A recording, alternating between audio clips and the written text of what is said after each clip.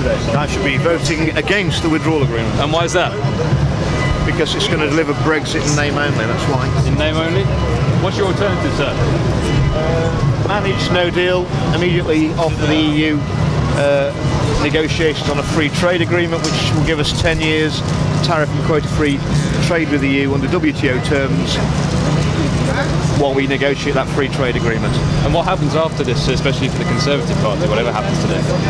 Well, I'll tell you now, if we don't deliver Brexit, it's uh, will have cataclysmic result for us at the next general election. We were tasked by the British people to leave the European Union. If we don't deliver that, why would they ever want to believe anything we ever tell them again? So who, who benefits if not you? Who benefits if not me? I'm, I'm not here to benefit me, I'm here to benefit the British people. The Tory Party, sir. Sorry, sir, can I take a word from you? Say again? If, if, if the Tory Party don't benefit from this whole process, who does? Is it Labour? Is it a new force? What is it?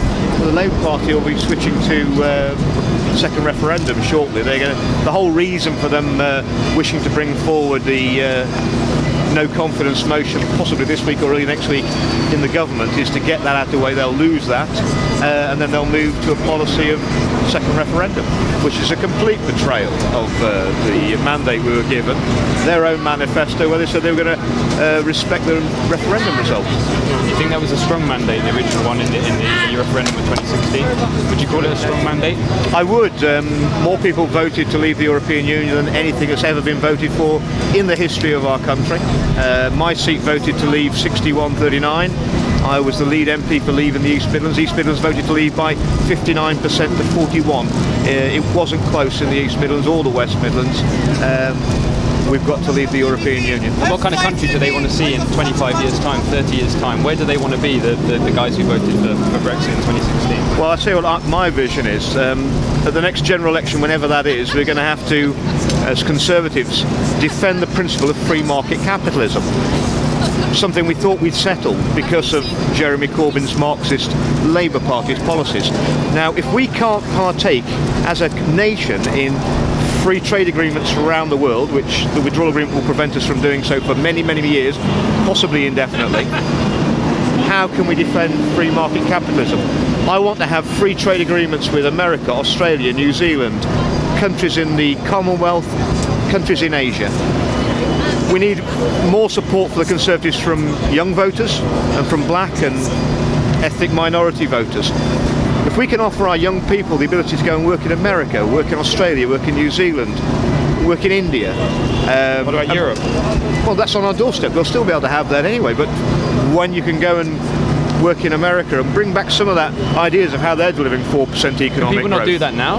Um, not, not, not, not as easy as they'll be able to, and we've got comprehensive free trade agreements and reciprocal rights for uh, work visas. I think that'd be far, far easier. There's no language language barrier whatsoever.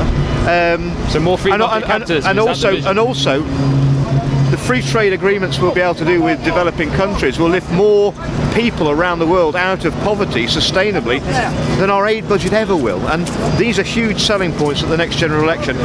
We can only do that if we get a clean global Brexit where we can take the main benefit of Brexit, which is forging those free trade agreements with the fastest growing economies of the world, which even the EU has conceded over the next 20 years, 90% of world's economic growth is going to come from outside the European Union.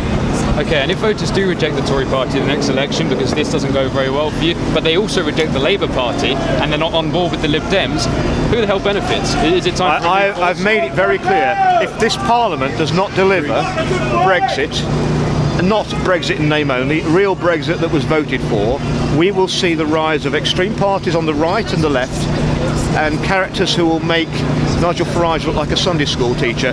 I don't want to go there. Parliament's got to get real. It's got to deliver uh, for the democratic mandate, leave the European Union, or it's the people versus Parliament, and that's not going to end well for Parliament And, or the country. and in that instance, would you consider joining a new party, a new force? I'm a Conservative, and I'd rather change the Conservative from the party from the inside. Conservatives tried to change the EU from the inside out. I think, I think you know you, what you'd have to do is ask yourself whether you want to stand for Parliament anymore if we don't deliver. Thank you very much.